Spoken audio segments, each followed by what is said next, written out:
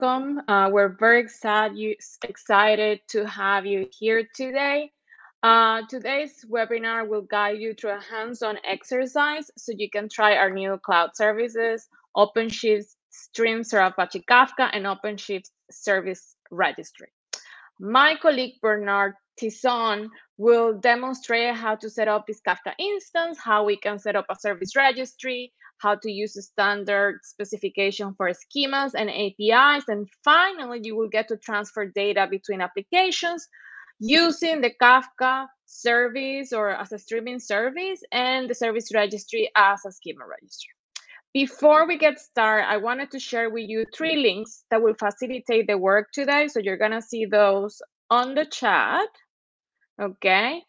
And um, so feel free to navigate to each one of those links and familiarize yourself with the content.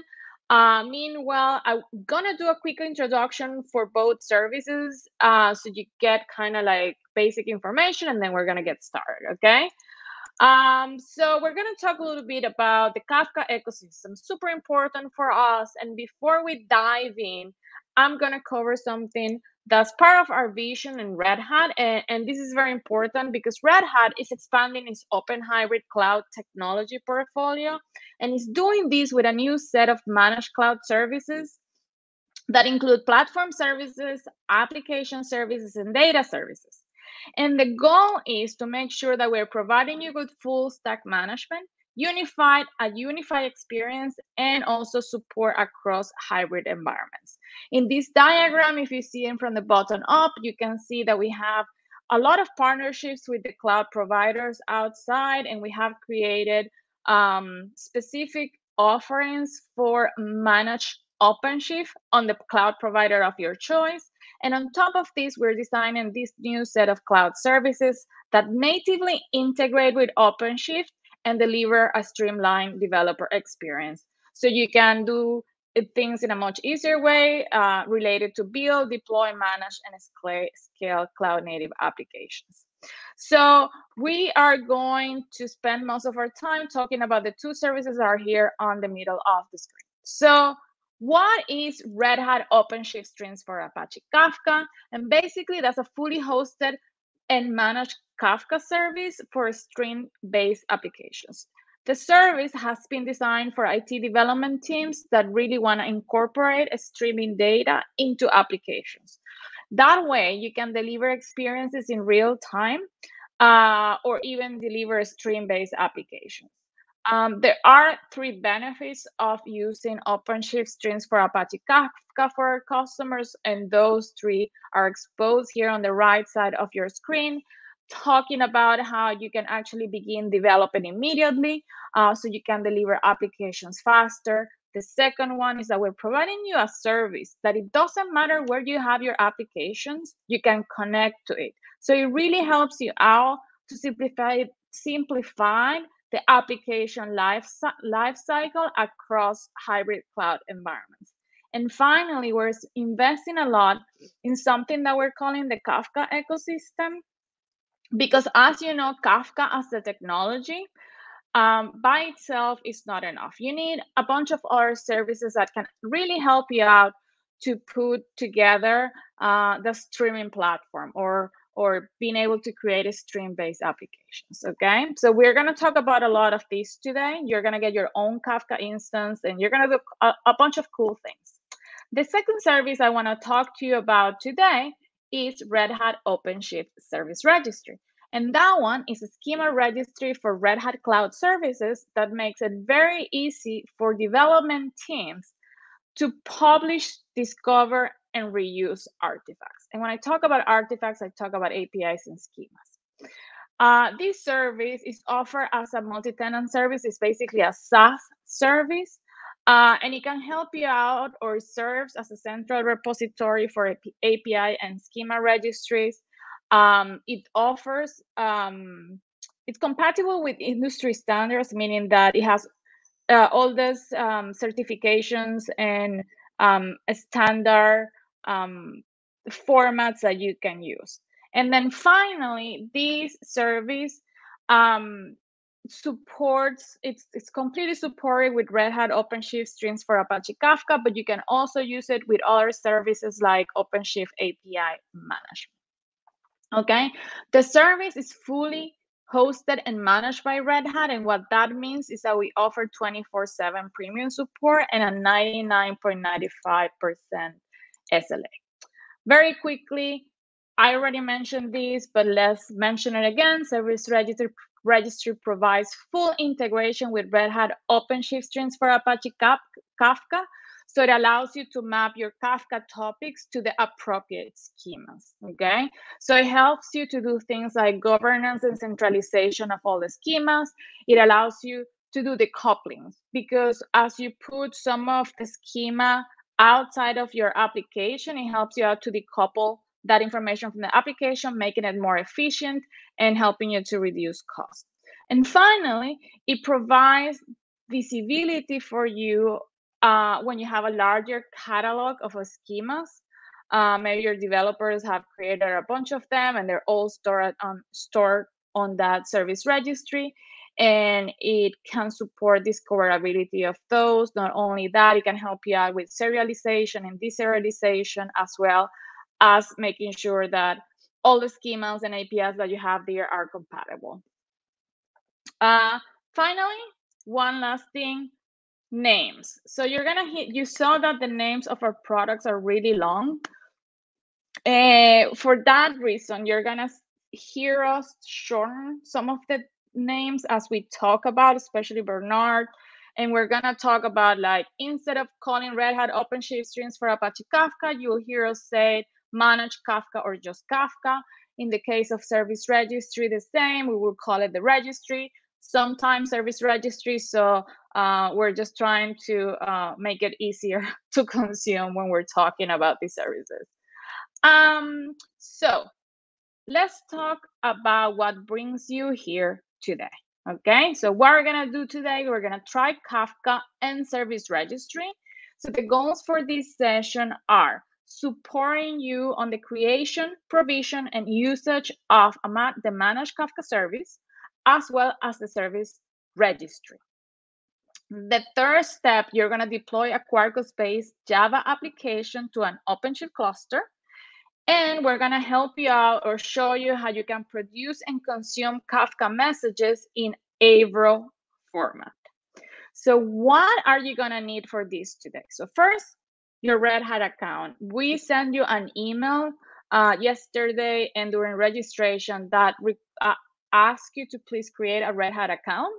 Uh, we need you to have those cre- credentials handy. Um, those credentials are going to let you use all our environments. And once you're all authenticated, it will be very easy for us to give you access to the system. So this is not a marketing thing. This is really uh, just a usage uh, a user-based authentication. So I just need you to make sure that you create a Red Hat account. Um, second, we're gonna you're gonna have to request a Kafka instance. If you didn't do it before, we're gonna walk you through it. Third one is that you need to request a service registry instance as well. All of this happens on the same page. Very easy, wizardy oriented menus. You you'll get there fast. And then the last one is to request an OpenShift cluster. So we're gonna have, you're gonna be exposed to a lot of technology today, many systems. Uh, so pay attention. We have all the links for you. We have all the steps. And even if you get lost, you're gonna be able to read it yourself. Uh, we're gonna keep a very fast pace today.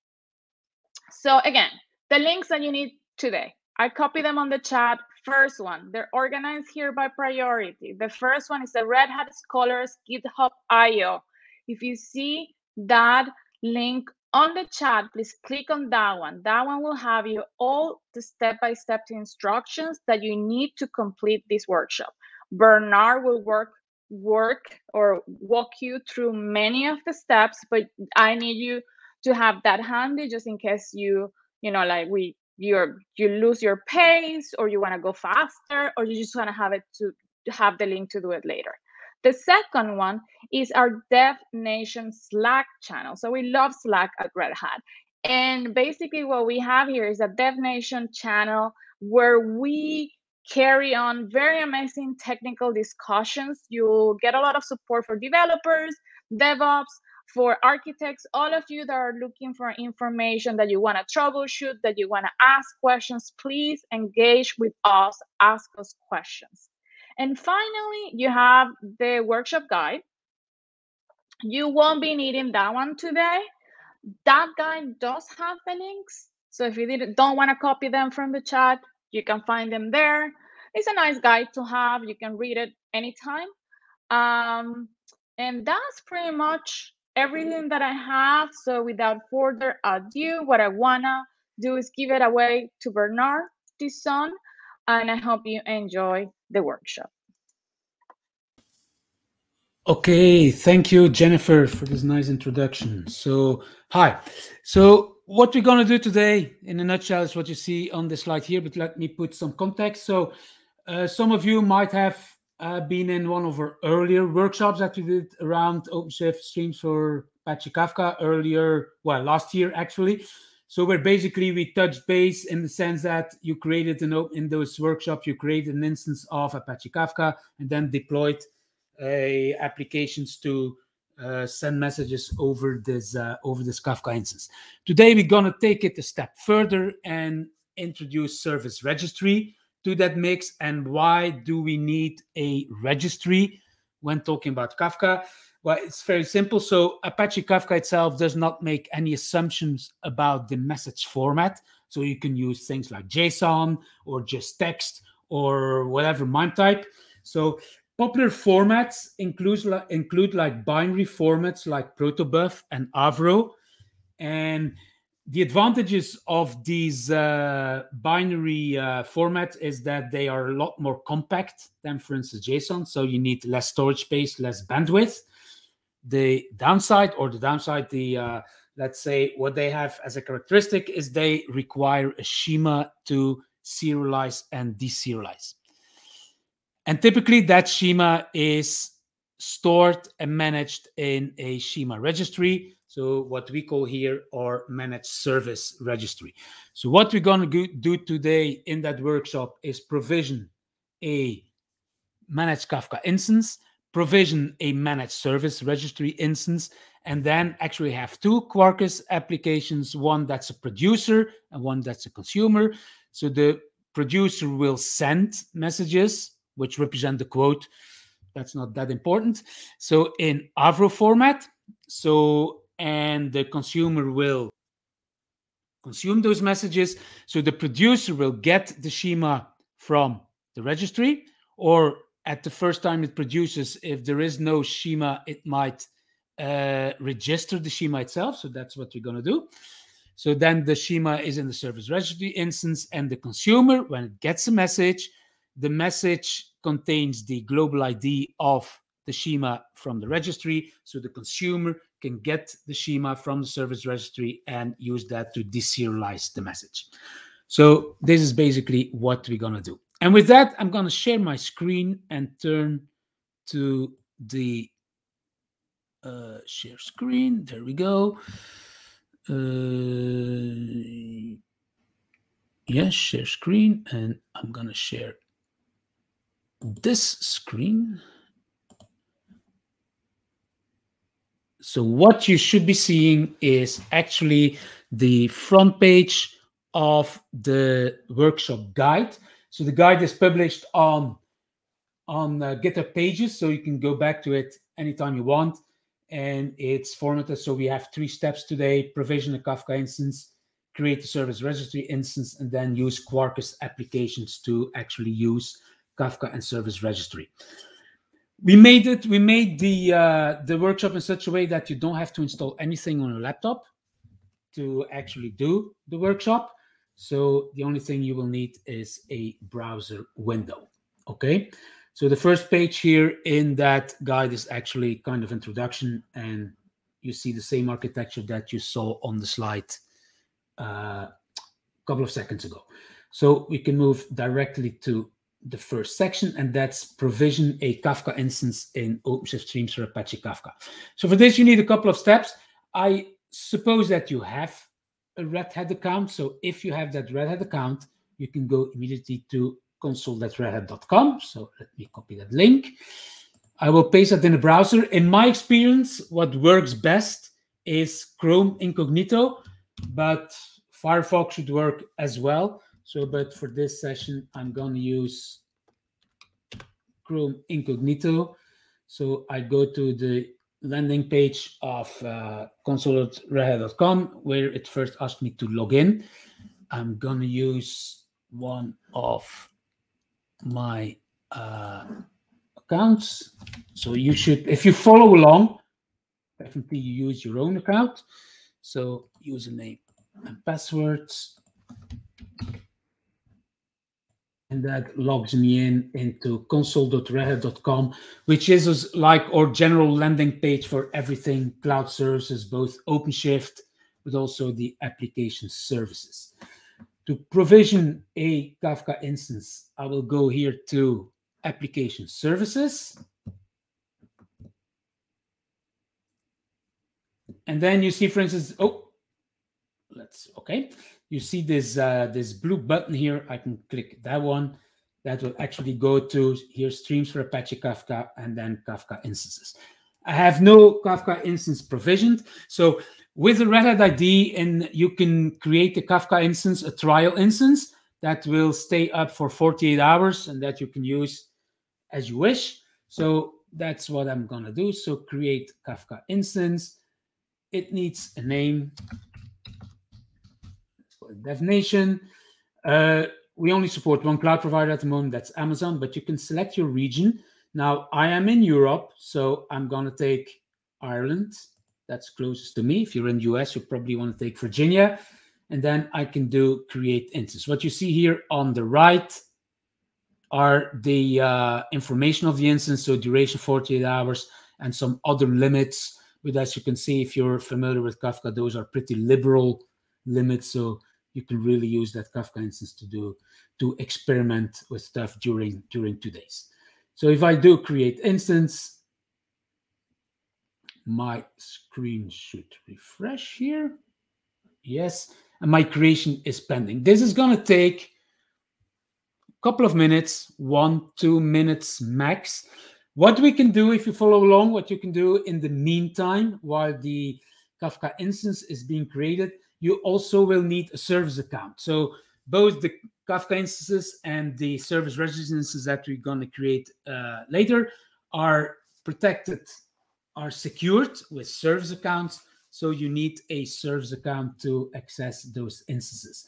So we can do here, if you on the left side menu of application services, you click on service account.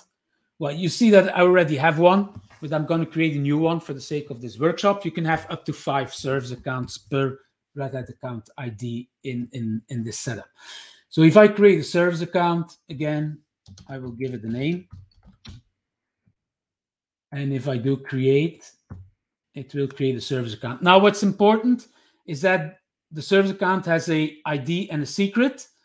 If I close this window, I cannot get to the secret anymore. So it's very important that you copy those because we will need them later. So you copy the client ID and you copy the client secret somewhere in a text editor, and then you say, I have copied, and you can close that window and your service account is created. Okay. Let's go back to my Kafka instance here and see where we are it's still being created. While this is going, we can move directly. So I'm, I'm this is not exactly the uh, the same order as in the workshop, but otherwise we will have too much that moments here. So while my Kafka instance is being created, I can already jump to my service registry. So if I go here in the left menu you click on service registry and service registry instance. You get an overview of the service registry instance. As you can see, I have none. So I can create one. I do create service registry instance. I will give it a name as well. So dev nation. It has some limits. So here the duration will be two months. It will stay up for two months. You can have up to 10,000 artifacts and some other lim limitations for this trial. If I do create, a instance will be created and that should be fairly fast because there is a difference. Okay, there, there. Uh, from a technical point of view, the service registry is actually a multi-tenant instance. So when you create a service registry, you get a share of a big installation, hosted installation of service registry. So the the time to create is just the time to create this tenant. So that's very fast. While with Streams for Apache Kafka, you get your own Kafka instance that needs to be provisioned from scratch. So that's why it take a little bit longer. But it should, I'm a bit surprised it takes, it's still busy. Let's wait a couple of instances more, but or maybe refresh my screen. That sometimes help to refresh the state. No, it seems it's still being created. So, uh, okay, so let's jump then to yet another phase that we will have to do anyway, and that is the uh, developer sandbox. Okay, so for that, you open a new tab on your browser, and here the link is the link is what you see.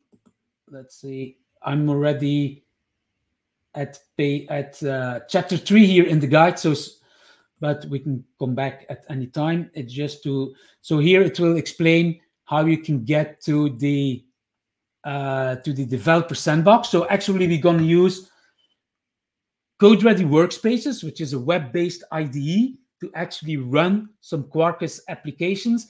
And we can use Code Ready Workspaces on top of Developer Sandbox. And all this allows us not to have to install anything on our laptop to actually do all this. So this is the link that I need for this, developers.redhat.com, then developer sandbox gets started. So if I go back here, I click on that link. You go to getting started and it says launcher. So if this is the first time you do that with your Red Hat account ID, there might be some additional steps where basically your account needs to be approved for Dev Sandbox and if you don't have a Red Hat email address, that will probably include a phone ver verification. And in case you wonder why all this is needed, the developer sandbox is actually a share of a hosted OpenShift, so you can deploy applications.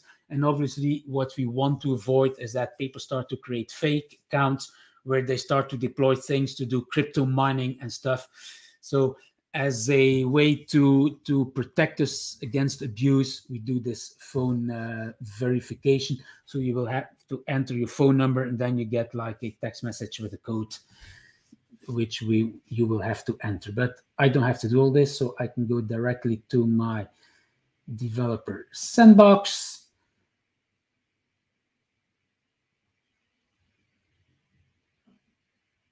well actually there is a second step. Start using your sandbox and then this will normally open a new well actually not a window. It's in the tab goes now to my dev sandbox. Uh, and it goes directly to the topology view. But the only thing we're going to use on today on uh, on uh, the dev sandbox is Code Ready Workspace. And to get to the Code Ready Workspace, you see here this icon here, this kind of square icon with nine little squares. If you click on that one, you will see that Red Hat Applications Code Ready Workspaces. If you click on that link, that will open a new tab to the uh, to uh, to uh, cloud uh, to code ready workspaces. You click on the login link with Dev Sandbox. You might need to give some extra permissions, but that's all okay. That's expected. And then, yeah, this because Code Ready Workspace has its own SSO instance, which only knows your username. He asked for some other stuff. So uh, your email address, which in my case is actually it's with a plus sign. And I can put my name here.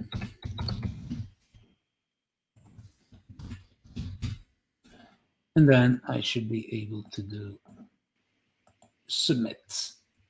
And this will go to Code Ready Workspace. So I will leave it here for the moment. Code Ready Workspaces later in this workshop, we're going to create a workspace and do the work. But now, by then, my streams for Apache Kafka. Let's let's force a refresh here. Whoa, that's not what I that's not what I wanted.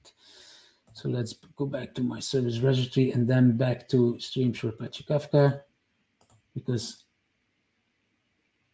okay, this is ready. So my Kafka instance is ready to be used. Now there are a couple of additional steps that we need to do. That that's first of all we need to, and this I'll go back to the guide a second. So we provision Kafka instance. We have our Kafka instance. We created a service account. So now we need to do a couple of things. So first of all, we need the bootstrap URL because we're going to need that to configure our uh, our Quarkus application. So if I go to this uh, this kebab icon here for my uh, Kafka instance and I click on connection, this first thing here, Bootstrap server, that's my Bootstrap URL that allows applications to connect to my Kafka instance. I will need that. So I will copy that and paste that in where I pasted also my service account, client ID, and client secret. I will also need a little bit down the token endpoint URL. So my Kafka, my Kafka instance is uh, is secured with uh, a SSL OAuth bearer uh, mechanism. So that uses uh, SSO behind behind the scenes. So I need the token endpoint to get a token. So I need that URL. So I copy that URL as well. Okay. And then I have already a service account. You can create a service account from here as well, but I've already done that. So now I can actually, and that's the next step. If you go to the guide, so I did all this. Now I need to set permissions for my service account, okay, for my Kafka instance. So if I go back to my uh, console.redhat.com, if I click on actually the name of my Kafka instance, I will see number of screen with the number of tabs. So there is a dashboard. Now I haven't used it, so there is not a lot of data here to be seen. I haven't created a topic, so there are no topics. I have no consumer group, but what I want to do here is set the access level. So if you go to the access window, you will see that those are the default access. So all accounts that include all usernames, all service accounts have some limited access to the Kafka instance. You can describe the Kafka instance, describe consumer group, describe topics. So that's not enough to actually produce the to, to topics, consume from topics. We need more. So we can now give our service account the necessary uh, permissions. So if I click on manage access, I can select a service account. You can create all accounts, but I'm going to create the one that I just created. I'm going to use this one. So it was called DevNation. Okay. If I click next, those are the existing ones because those were for all accounts. But now I can assign permissions for my service account. And here again, I can go fairly wide or fairly granular. So for this workshop, I need actually two permissions. Uh, I need to be able, well, I need to able to produce, but I'm going to use manage access here. So if I do manage access, no, actually they changed that screen since yesterday. Okay, I need to do something else here. So they actually changed this dialogue. So this is the first time I see this. So I need to be able to consume from a topic. Yes. So topic starts with, okay. So I need to consume from a topic. I can use the is and then I can use a star. So let's say that's for all topics. Okay. So, and then the consumer group, same thing. I will give rights to all kind of all consumer groups. So again, I can use a star here. And then I can, that's one permission. Another permission that I need is I need to be able to, oh, but here I can do now other things. Oh, this is a bit confusing here. If I do topic is, again, star, allow, and I can do write. Okay, so this will give me read access to all the topics and write access to all the topics and read access to all the consumer groups. And I think this is more or less what I need. Consumer group, well, actually, I can change the topic one just to be on safe side. I can do allow all. Okay. So if I save that now, this. Okay. Oh, yeah, there you are. My service accounts can read all the consumer groups. It can has rights to all the topics. And then, yeah, this actually, those are now obsolete. They are superseded by this one. But this is, and I'm to double check just to be sure that this is more or less yes. This is what i need to be able for my service account to consume and produce to my Kafka instance. Okay now that we're here we can also create a topic that we will need. So there is a wizard for this as well. So i don't have any topics yet so i can create a topic. And for the sake so a topic needs a name for this workshop my quarkus applications they expect the name quotes as a topic name. So they will use a topic name quotes. So I'm going to use this as the name of the topic that I'm going to create here. And then you can choose the number of partitions. So partitions is one of the things that makes Kafka scale because it allows you to scale out your consumers. For this workshop, one partition is is enough, but you can create more if you want. So Let's keep it to one for this example here. Retention time is how long uh, messages in a topic will be retained. So the default here with the managed or managed instance is a week in time and un unlimited size. As I know that my Kafka instance will be destroyed within two days, a week is more than enough. So I can keep the defaults here as well. And then the replicas is not something that you can change today. So the managed Kafka instance has three brokers. So we use three replicas for every topic with two minimum in sync re replicas. So this is more informative. You cannot change those values. If I click finish, my topic will be created one partition, seven days retention time. Well, here it's in milliseconds. That's a lot of milliseconds and unlimited retention size. Okay.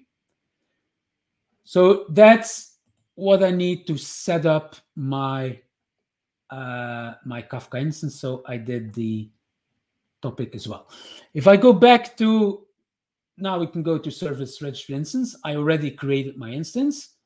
What I still need to do now is to okay, yeah, I need the URL so to, to connect. So if I go to service registry, and I do service registry instances. I click on this kebab icon on the right. If you look at connection, you will see a number of things here. So actually, we this the the managed service registry uh, supports three APIs. So there is the core API, which is like the the let's say the native API for uh, service registry. We have a compatibility API, and compatibility here is with the Confluent schema registry. So that means if you would have applications that now today use Confluent schema registry, you can port them without hassle to our service registry by using the compatibility API. And then another API that we support is an upcoming standard from the Cloud Native Computing Foundation, which try to standardize an API for Schema registry. So we support that API as well. The one that we're going to use today is the core API. So I'm going to need that URL in uh, when I configure my Quarkus application. So I copy that to the clipboard and I paste it there where I paste all the other things like my Bootstrap server and my client ID and client secret. So that's one thing. And second, I also need, because I'm going to publish and retrieve schemas, at least my applications are going to do that. So that means that I need to give uh, access permissions also in the red service registry to my service account that I created, and I can do that. So if I go to the service registry, we're going to do that in a second, uploading artifacts. But the first thing I need to do is uh, set access.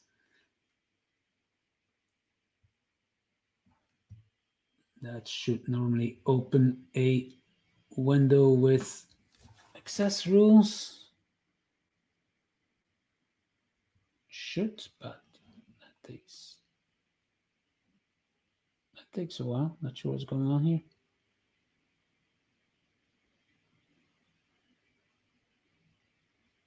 Let me refresh to see if that comes back.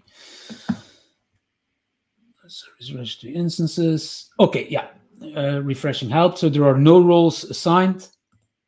I grant access. So you can select again a service account here. I'm going to use the same one, my DevNation service account. And the role that I need is called manager. The manager can write and read artifacts from the service registry. So that's what my application is gonna my applications are going to require. So I can save this and you see that my service account is now a manager. So that's a little bit the setup. Now, before we move to our, uh, our applications, I think we're still good with time, I think. So what I can quickly show you is what you see in the guide, in the workshop guide is you can is this part here. You can like uh, upload artifacts from within that UI and even manage them.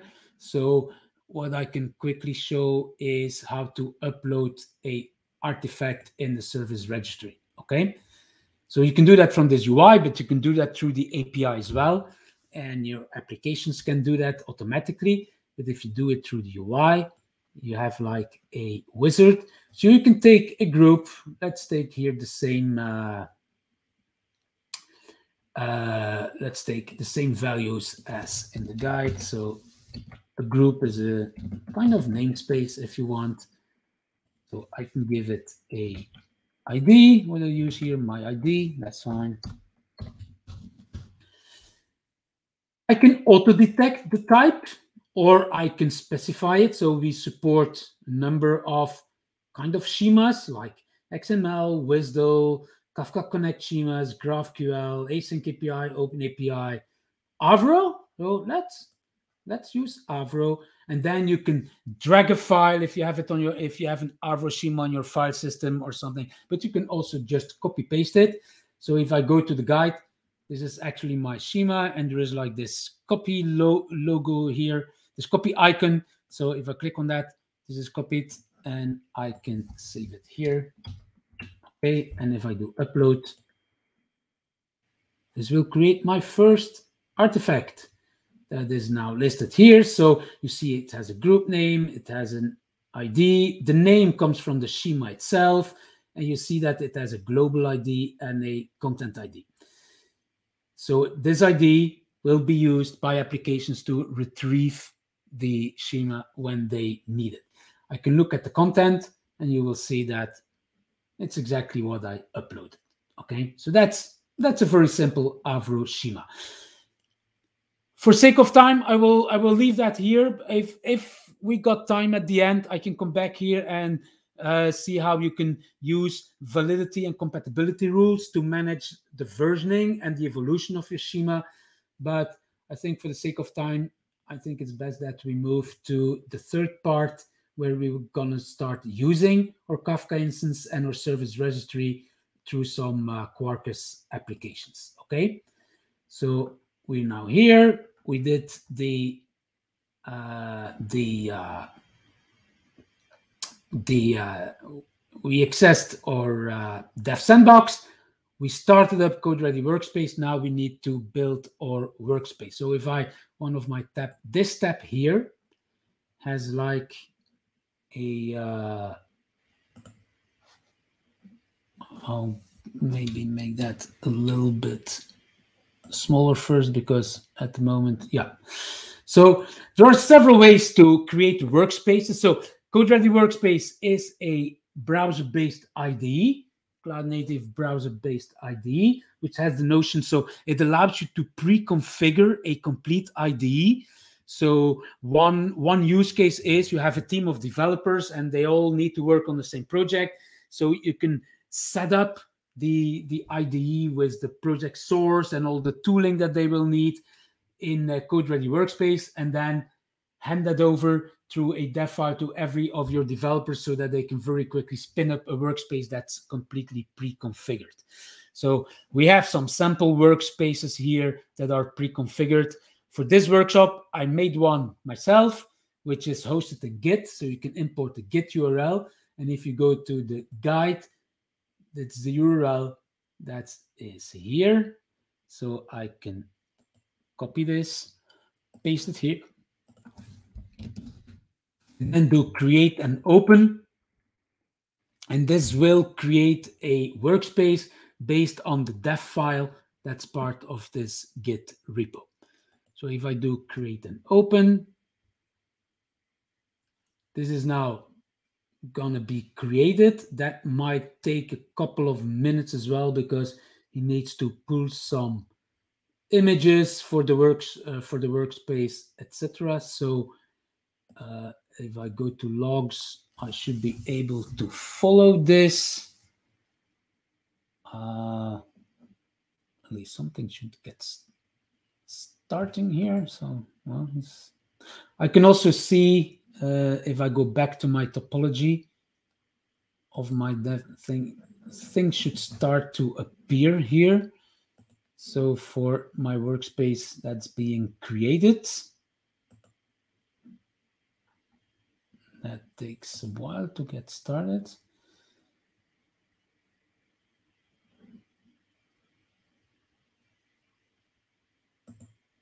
Not a lot.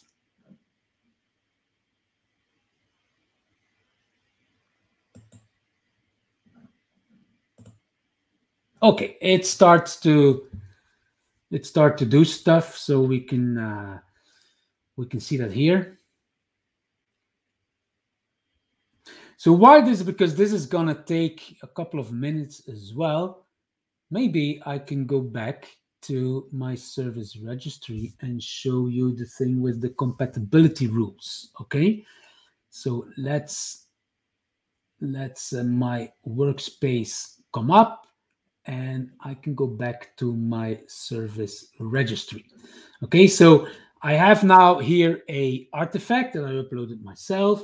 I can now enable or on a global service registry level or on a per artifact level, I can enable content rules, so validity rules and compatibility rules. So I can, let's say, enable the validity rule, and then I can say, okay, so that for instance, every new version of that artifact that I would upload needs to be valid.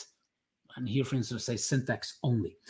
I can also enable compatibility rules where I have a little bit more choice. What I can do for the sake of this example, let's say that I want backwards compatibility. So that means if I create a new version of my schema and I want to upload it, I want to make sure that that new version is backwards compatible with my existing version. So to not break applications. Okay. So now that those rules are enabled, I can upload a new version of my artifact. And let's first see those rules in action. Let's say I need to go back here to my create a service registry instance. And I have here a new version, so we're to the end. Okay, here we have. This is would be what you see here, a new version of the same uh, schema. The difference is now I have a new field here. So full name also has now the notion of a middle name. And in Avro speak, the way this is defined, that means that that field is mandatory. That also means that it's no longer compatible with the previous version because the previous version didn't know that field. So it cannot be mandatory for older versions of the schema. So what I expect now, if I copy that and I try to upload it, is that my compatibility rules will refuse this version because it breaks the backwards compatibility rule. So let's upload my artifact.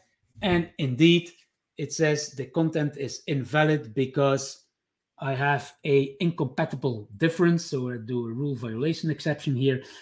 And this is this mandatory field. Okay, so I have to fix this. And to fix this, I can, and I go back to my guide, I can go back to a version of new version where basically that's what you see here in this line. I made that new field optional. It's the middle field is part of my schema, but now it can be a string or it can be null, and the default is null. So that's how in Avro you define an optional field. So that means that this version of my schema is backwards compatible with the previous one because my new field is entirely optional. So if I try to upload this one, it should normally be accepted. If I upload that, yay, that kind of works.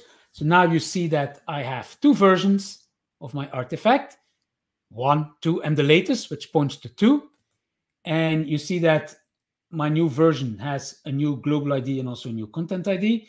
So, and I can go back and forth between my two versions here. Okay. So this is just an illustrations of what you can do with like version management stuff like that completely through the UI. Now let's go back to my Code Ready Workspace, which in the meantime have been at least started up and now you will see okay before to finish the the start of my workspace workspace there is like this little bit annoying thing but i don't know how to disable that. But because i'm i'm importing an, a couple of projects from GitHub into my workspace the uh, the IDE asked me if i trust the authors of that GitHub repo considering that I am the author, yes, I do trust myself. So I can click yes, I trust. And then you will see that two projects are being imported, and those are the source code of my Quarkus applications that I'm going to use to actually send, uh, produce, and consume messages. So the rest of those things I can ignore for the moment. Yeah, I'm not going to install extra plugins for this. So uh, I'm going to ignore that message. I'm going to ignore all the other ones. So I'm going to make that a little bit wider. So what you see here is that I've got two projects. I've got a producer and a consumer. Those are Quarkus applications, Maven applications. So you have like the normal Maven structure. And I'm going to do two things here.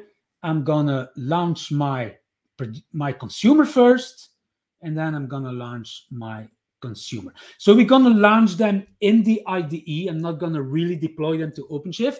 I'm going to run them in what we call Quarkus dev mode directly in my IDE. So let's start with the consumer. So you have a POM file. So before I do that, the way it's going, so we're using Avro. So in my source code, there is a Avro schema um, control. It's also a very simple schema. So uh, it has like a namespace, and then it has a record type, which is like uh, it's type record, and the name of the record is a quote, and the quote has two fields. It has a name field, as a string, and it has a price field, and that's an int. And we use the same the same schema obviously for the producer. So the producer is gonna create Avro, gonna create Kafka messages which represent the quote, an ID and, an, and a price. And the consumer is going to consume those messages and show them in the browser, in a browser window as they arrive. So we use Quarkus. So that means that the source code is actually very, very simple. It has like one, there is one class. So we use like reactive messaging in Quarkus. So I don't have the time to go too deep into details. We have like seven minutes left here. So basically, but it has a notion of channels, and uh, I'm gonna produce, consume from the channels, and then produce a server, an SSE stream that I can consume in my browser. Okay. Uh, and then most of the things here happen in configuration. And the way this works here is so you have a number of configuration So I need to configure the my registry with a realm, an OAuth server URL, client ID, client secret. So that's my service account, the registry URL that we copied before. And for my Kafka instance, I need a Bootstrap server and I need uh, to configure authentication as well. So all those things now I can use environment variables for that. I'm going to set those in a terminal in the IDE and then launch my Kafka application. Okay, so uh, let's do this. What I can do in uh, in my uh, IDE is I can launch a terminal. So if I go to the top menu and I do, I click open terminal in specific container, you will have a number of choices. The one that we are interested in is I have configured a Quarkus Maven container, and that's exactly what we need. A terminal in there so that I can launch, I can launch my Quarkus application. So, and then I can point to one of my two projects here. So I said I would do the producer first. No, that's not correct. I'm going to do the consumer first. Sorry for that. Quarkus Maven, consumer first. So that points to my consumer work work uh, project here. So I need to go to the consumer subdirectory. Whoa, whoa, whoa. Okay, that I don't need.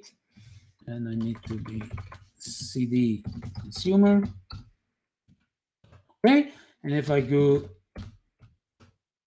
you will see that I have the structure here with my POM and my target, exactly the same thing that you would, uh, you, you would see in the overview. The first thing I need to do before I launch my application is set all my environment variables. So if you go into the guide, uh, use Quarkus applications, we are somewhere, we are kind of here. So you have like this whole block of things. The thing you will have to do is replace all this with the values that you copied before from your Kafka Bootstrap URL, your registry URL, all the things that I pointed out. Now, I have done that while I was speaking. So I have my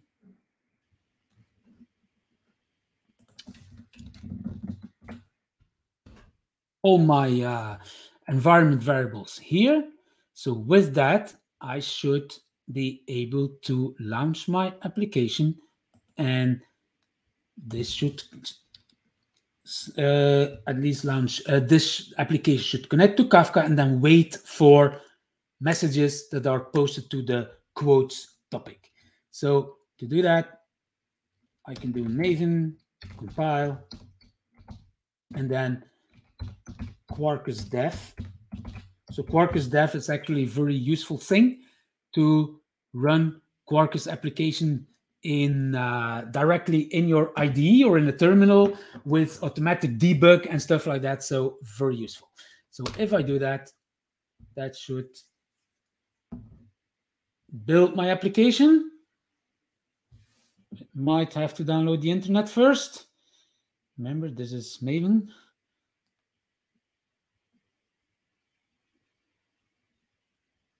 No, this is fairly quick. It's good. Okay, so it built the application. Now it's going to start start actually the application in dev mode. So we should we should see some stuff happening here on the terminal. So actually my application starting up. There we go. So we have my all my uh, my uh, my Kafka in uh, things here. And then, so this all seems quite okay. And then it says here, this pop-up process codes endpoint is now listening on port 8080. And I say yes, because that will open directly in this will open a new a new uh, a new a new tab in my browser pointing directly to the application okay so you will see now i'm on the price the quotes page of my consumer application but nothing is happening here because there is no producer that sends quotes into the application. So that's what i'm going to do now. And i have a couple of minutes left. That should be just sufficient. So back to Code Ready Workspace. I open a new terminal for my producer. So Quarkus Maven, and it's the producer that I want. Okay, the subdirectory here is producer. Okay, I copy the same block as the the consumer. I'm not going to go here through the application properties and stuff like that for the sake of time, but they're very analogous to what we saw. So uh, basically it uses the same environment variables. And now I can do the same thing here. Maven compile and then Quarkus dev. And that will launch my producer app running in my terminal, in my IDE on Dev Sandbox. So uh, that will gonna take a couple of seconds as well. Compiling, then starting up. Yeah, this error can be ignored because I have now two dev uh, two uh, two applications running in dev mode. So they all they both try to use port 5005 for debug, but I'm not using debug for this one, so I can ignore that that error. So that should not prevent my application from starting up and start I can ignore this one. I don't use port.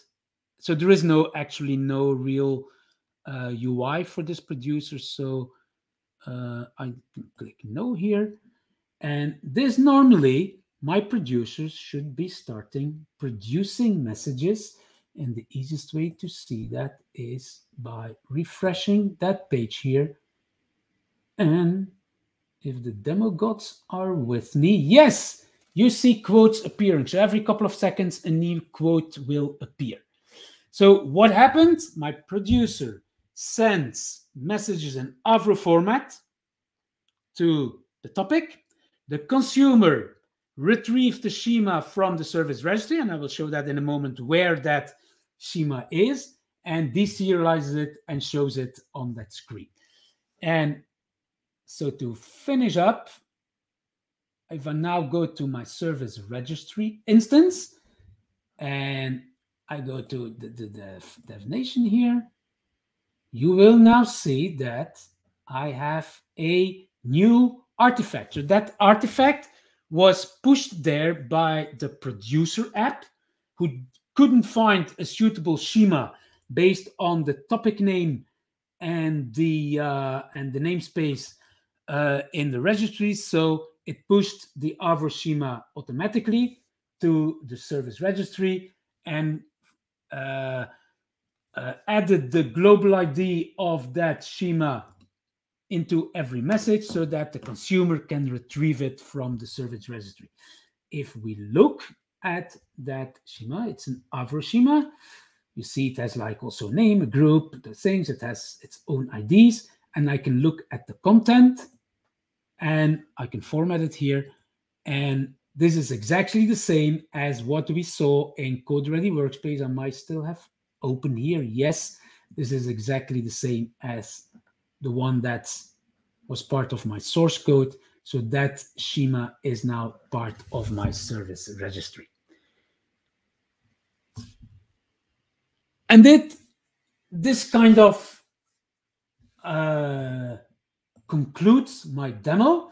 So there is still a cleanup section. Yeah, you probably want to, or if you want, I can I can stop my applications here by doing Control C.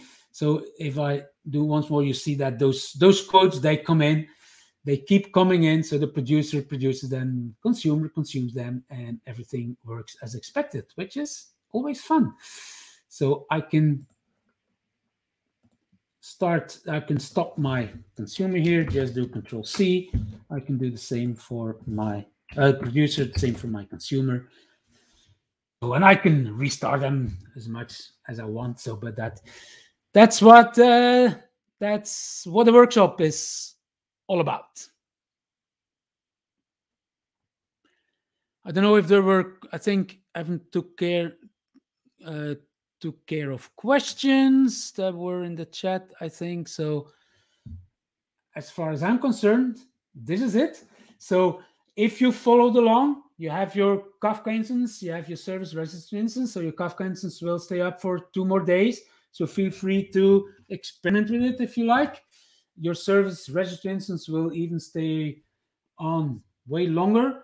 Uh, you can delete it if you know that you won't use it you can create another one whenever you you you uh, you feel like. So based on your on your red hat id so uh, you've seen how easy that all was. So with that that's it for me